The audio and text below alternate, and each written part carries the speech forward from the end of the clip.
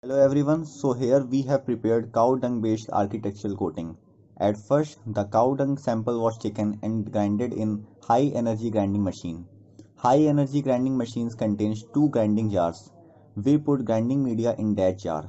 Here grinding media are steel balls and zirconium balls. Firstly, we have prepared grinding cow dung under steel balls. For this purpose, we have filled the jar one third with grinding media and 10% of grinding media is filled by cow dung. Now we performed grinding for 1 hour with jar speed of 600 rotations per minute and disc speed of 200 rotations per minute. This process was done 5 times to collect 200 ml sample of grinded cow dung. The sample of cow dung based emulsion paint was prepared by mixing 50% of the cow dung grinded sample and 50% of acrylic emulsion sample.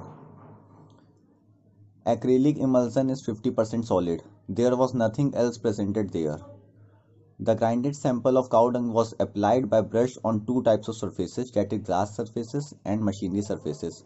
After few hours of drying, we applied second coat and then again dried it for 24 hours.